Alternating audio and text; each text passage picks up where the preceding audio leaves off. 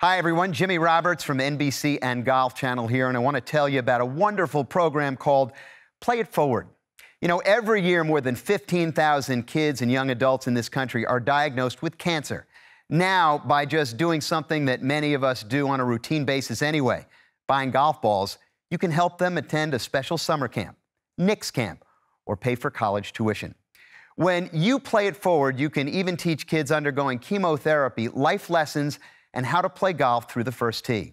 100% of the proceeds from the sale of these golf balls goes to giving young cancer patients experiences they will never forget. And when you buy a box of Knicks Camp golf balls, you can have them sent to a friend. They can then play it forward by buying a dozen for their golfing buddies or family members. You get the idea.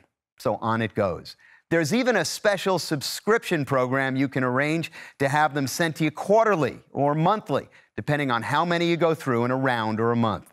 Who would have ever thought that losing golf balls could do so much good? For details, check out ChiaraFamilyFoundation.org. So come on, together let's play it forward and help thousands of kids fighting this horrible disease. To buy your golf balls, simply visit ChiaraFamilyFoundation.org.